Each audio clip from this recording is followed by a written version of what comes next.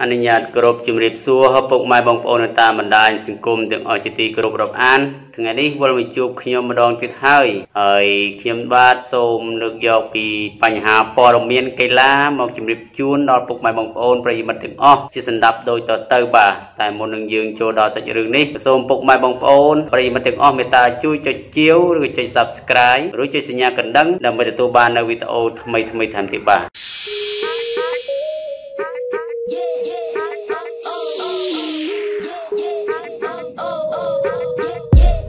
ថ្ងៃនេះខ្ញុំសូមលើកអំពី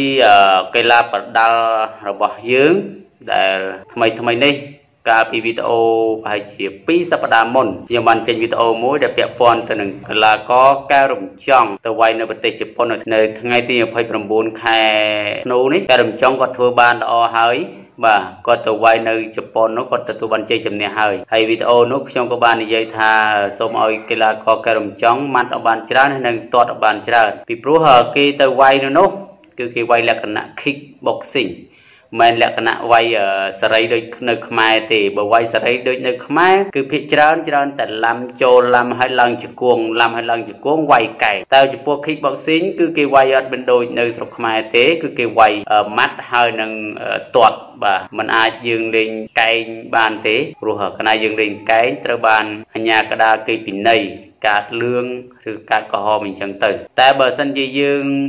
ម៉ាត់បានល្អហើយទាត់បានច្រើនចេញបានច្រើននឹងយើងឈ្នះហើយអញ្ចឹងបានកន្លងមកការទៅប្រកួតស៊ីហ្គេមនៅប្រទេសហ្វីលីពីននោះយើងអត់បានមេដាយមាសមេដាយប្រាក់ទេបានត្រឹមមេដាយសម្រិតដោយសារអីដោយសារតែយើងមើលកីឡាករដែលវាយនៅស្រុកខ្មែរយើងហើយយើងធីបជាមួយនឹងកីឡាករបរទេសគឺយើងចាញ់បរទេសចាញ់ត្រង់ថា យើងមើលបដាល់នៅស្រុកខ្មែរយើងគ្រប់ប៉ុសទាំងអស់ភាគច្រើនគឺគាត់អត់សូវម៉ាត់អត់សូវទាត់ប៉ុន្មានទេគាត់ច្រើនតែលេងចូលគៀកលេងជង្គង់ឡាំយកតែជង្គង់តែម្ដងបាទអាត្រង់ចំណុចនេះហើយដែលយើងទៅវាយនៅបរទេសអត់ដែលឈ្នះគេជាពិសេសគឺវាយនៅថៃគឺចាញ់ថៃស្ទើរតែគ្រប់ការប្រកួតទាំងអស់ដោយសារអីដោយសារតែទៅវាយនៅស្រុកថៃឃើញគេវាយទី1គឺគេរឹងគេហាត់យើងរឹងហើយយើងដឹងកីឡាករគេរឹងហើយហេតុអីបានជាយើងមិនសិក្សាស្រាវជ្រាវរកមើលវីដេអូមិនខ្វះទេវីដេអូដែលគេហាត់នៅថៃគេអាប់ឡូតចូលក្នុង YouTube ចេះយើងមើលវីដេអូ YouTube ទៅតើគេវាយរបៀបម៉េចគេហាត់របៀបម៉េចឲ្យខ្លាចជាកីឡាករគេរឹងហើយយើងអត់មានយកចំណុចហ្នឹងមកចាប់ដើមឬក៏មកហាត់ទេដល់ពេលអញ្ចឹងទៅយើងទៅវាយជាមួយថៃ10 គឺ9ហើយដែលយើងទន់យើងចាញ់គេដោយកីឡាករមឿនសហុចកីឡាករមឿនសហុចហ្នឹងគឺទន់រងណផាកាច់ដួលក្រេងក្រេងក្រេងណាគាត់អត់សិក្សាពីចំណុចថាតើហេតុអីបើយើងទន់ហេតុអីបានជាយើងមិនហាត់ពីចំណុចហ្នឹងហើយសូមសំណូមពរដល់កីឡាបដាល់ខ្មែរផងសូមមេត្តាហាត់ឡើងវិញពាក់ព័ន្ធទៅនឹងការវាយរបៀបលក្ខណៈ kick boxing កុំវាយរបៀបសេរីខ្មែរពីព្រោះបើយើងចង់ទៅប្រកួតប្រជែងនៅអន្តរជាតិគឺគេទាមទារតែ kick kickboxing ទេទៅវាយនៅ One Championship ក៏ដោយវាយនៅ K1 ក៏ដោយវាយណាក៏ដោយអញ្ចឹងយើងហាត់ម៉ាត់ឲ្យបានច្រើនហាត់ម៉ាត់ឲ្យបានច្រើនយើងមើលគេរបៀបរបៀបលក្ខណៈហាត់បដាសកលតើបដាសកលគេវាយយ៉ាងម៉េចយើងយកអាចយកការវឹកហាត់បែបវាយសកលដើម្បីយើងសមទៅលើការហាត់ម៉ាត់ឲ្យបានច្រើនហើយទាត់ខ្ញុំគិតថាចំពោះកីឡាករទាំងអស់យើងមិនបញ្ហាទេចំពោះការទាត់ ព្រោះយើងជាកីឡាករយើងដឹងអស់ហើយប៉ុន្តែណាស់តើអ្វីដែលសំខាន់គឺខ្ញុំនិយាយហើយនិយាយទៀតថាកីឡាករខ្មែរយើងភាគច្រើនគឺគាត់ខ្ជិលគាត់មិនសូវជាបដោតទៅលើការហាត់ប្រមាណទេហាត់មកមកដើម្បីវាយទៅក្នុងស្រុកបានលុយចាយទៅក្នុងស្រុកទៅអត់ចង់ថាទៅប្រកួតនៅអន្តរជាតិដើម្បីលើកមុខមាត់ប្រទេសប្រកួតនៅបរទេសទៅវាមានប្រាក់ច្រើនអញ្ចឹងទៅទទួលប្រាក់ឧបត្ថម្ភច្រើនអញ្ចឹងទៅគាត់គិតអញ្ចឹងទេ ក៏គិតតែហាត់តែមកមកមកមកវាយនៅស្រុកខ្មែរបាទហើយខ្ញុំមើលទូរទស្សន៍ភាគច្រើនមិនដឹងថាគាត់ហាត់យ៉ាងម៉េចទេខ្ញុំនិយាយតែស្មោះត្រង់គាត់វាយពេលដែលគាត់វាយនៅតាមប៉ុស្តិ៍ផ្សេងផ្សេងហាក់បីដូចជាខ្លាំងមែនទេជាងការវាយបានមួយទឹកវាយបានតែពីរទឹកបីទឹកសិតតែស្លាប់ដូចជាថៃចឹងមិនដឹងជាគាត់ហាត់មិនប៉ុន្តែកីឡាករដែលខ្លាំងខ្លាំងវាយបែបហ្នឹងទៅវាយនៅថៃគឺទៅស្លាប់របស់គេរហូត យើងយើងប្រៀបធៀបការវាយនៅស្រុកខ្មែរជាមួយនៅស្រុកថៃគឺខុសគ្នាឆ្ងាយខ្ញុំមើលភាគច្រើនខ្ញុំមើលកីឡាករវាយនៅថៃដូចជាថៃ fight យើងមិនបាច់ទៅលោកទេលោកមិនចោះតែម្ដងកាលមុនបានកែរំចង់បានវងណយវងអីទៅវាយតែកីឡាករក្រោយក្រោយទៅវាយមិនកើតទេហេតុអីទទី1គឺកីឡាករពីមុនយើងថាងចាញ់កម្ពស់គេឥឡូវហ្នឹងយើងបានកម្ពស់ហើយ តែយើងនៅទួនបាទកីឡាករមួយចំនួនឡើងចន្ទ្រាឡើងយត្រាឡើងអីសិតតែកម្ពស់ល្អហើយប៉ុន្តែយើងចាញ់រឿងទួនគេមកហើយយើងម៉ាត់គឺយើងចាញ់គេដោយសារតែយើងមិនបានវឹកហាត់ឲ្យបានខ្លាំងជាងមុនដើម្បីយើងម៉ាត់ឲ្យបានល្អហើយទាត់ក៏ដូចគ្នាអឺកីឡាករចន្ទ្រាឬក៏ចត្រានេះកីឡាករគាត់ល្អប៉ុន្តែដល់យើងមើលស៊ីហ្គេមមើល គាត់អត់សូវទាត់ប្រហែលទេអត្រង់ចំណុចទាំងហើយដែលគាត់ចាញ់គេគាត់ច្រើនតែចូលទៅម៉ាត់ចូលទៅម៉ាត់មិនដឹងថាមូលហេតុអីណាអត្រង់ចំណុចហ្នឹងយើងពិបាកពិបាកត្រង់ថាយើងចាញ់តែមគេយើងវាយអត់ដល់គេហើយឥឡូវថ្មីថ្មីនេះដូចជាកីឡាករកែរំចង់ដែលទៅវាយនៅជប៉ុនហ្នឹងគឺល្អគ្រប់ត្រក៏ប៉ុន្តែជាការសំណូមពររបស់ខ្ញុំអឺការបិទកីឡាករកែរំចង់គឺគាត់ប្រហែសទៅលើការបិទ ហើយប្រហែលលើការបិទហ្នឹងគឺដោយសារតែការម៉ាត់ការម៉ាត់របស់គាត់ពេលដែលម៉ាត់ចេញទៅគាត់លាអស់អស់ហ្មងយាអស់អស់ដៃដល់អញ្ចឹងទៅកីឡាករគេគេដឹងគេដឹងថាអានេះម៉ាត់មកអញ្ចឹងគេ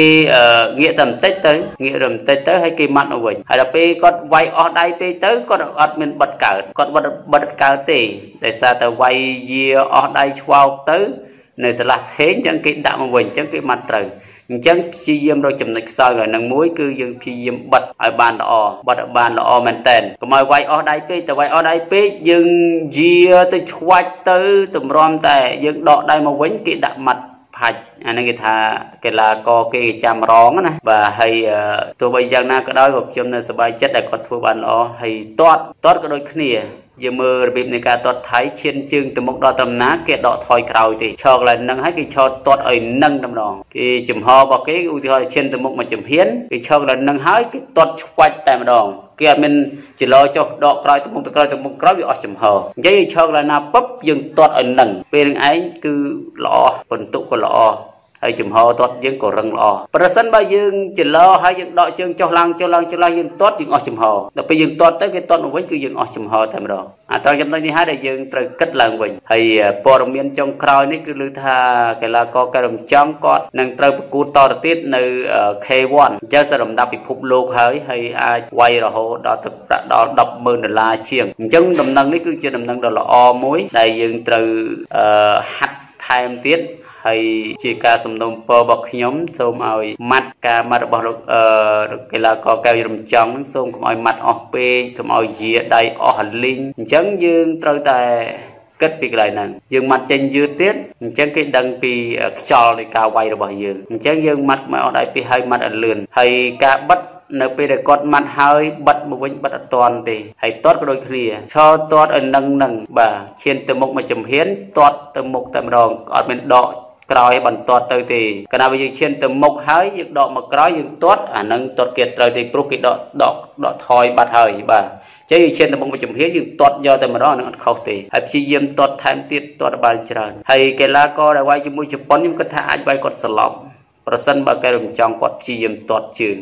ប៉ុន្តែគេរំចង់គាត់ព្យាយាមទាត់ជើងគាត់ដូរដៃទៅវិញហើយកុំទៅលេងដៃជាមួយបរទេសហើយសំណាងហើយដែលមិនត្រូវបោះបរទេសមិនត្រូវអាចស្លប់បោះបរទេសបោះកីឡាករជប៉ុនយើងមិនមែនជាកីឡាដែលខ្លាំងក្នុងកម្មម៉ាត់ទេកីឡាករដែលឆ្លាតគឺជាកីឡាករដែលមើលទៅលើដៃគូតើខ្លាំងត្រង់ចំណុចណា ហើយខ្សោយត្រង់ចំណុចណាដោយអ្នកស្រីកែលេងបានមានប្រសាសន៍អញ្ចឹងយើងទៅលេងប៊ូលយើងត្រូវសិក្សាអំពីដៃគូថាតើដៃគូខ្លាំងចំណុចណាខ្សោយចំណុចណាហើយយើងកែកុនតាមហ្នឹងអញ្ចឹងកីឡាបដាល់ដូចគ្នា ឆ្លាតវាយឆ្លាតត្រូវមើលទៅលើដៃគូថាតើដៃគូនឹងខ្លាំងចំណុចណាហើយខ្សោយចំណុចណាហើយអញ្ចឹងចុងចុងក្រោយនេះខ្ញុំគ្មានអីក្រៅពីការជូនពរឲ្យកីឡាករកែរំចង់ទទួលបានជ័យជំនះទៅលើការប្រកួតនៅ K1 បាទដែលនឹងត្រូវប្រកួតបន្តទៀតដែលមានទឹកប្រាក់រហូតដល់ជាង100,000ដុល្លារនោះអញ្ចឹងគឺនេះក្រាបបញ្ជូនពរឲ្យកីឡាកររបស់ប្រទេសជាតិកម្ពុជារបស់យើងទទួលបានជ័យជំនះទៅលើការប្រកួតនោះទេបាទអរគុណច្រើនដល់ពុកម៉ែបងប្អូនទាំងអស់ដែលបានព្យាយាម ដែលបានចំណាយពេលវេលាដ៏មានតម្លៃស្ដាប់ខ្ញុំបាទនិយាយអំពីកីឡាករការរំចំក៏ដូចជាបញ្ហាកីឡាទូទៅបាទបើមានបញ្ហាអីសូមមេត្តាពុកម៉ែបងប្អូនទាំងអស់មេត្តាអធិស្ឋានដល់ខ្ញុំបាទផងហើយសូមមេត្តាចុចចុចជាវឬចុច Subscribe នៅខាងក្រោមវីដេអូនេះដើម្បីទទួលបាននូវវីដេអូថ្មីថ្មីថែមទៀតបាទហើយរកកំហុសឆ្គងនៃការឡើងដោយចេតនាសូមពុកម៉ែបងប្អូនមេត្តាអធិស្ឋានហើយបើមានបញ្ហាអីសូមខមមិននៅខាងក្រោមវីដេអូនេះខ្ញុំនឹងព្យាយាមឆ្លើយតបឲ្យបានឆាប់តាមតែអាចធ្វើទៅបានអរគុណច្រើនជម្រាបលាជួបគ្នានៅពេលក្រោយ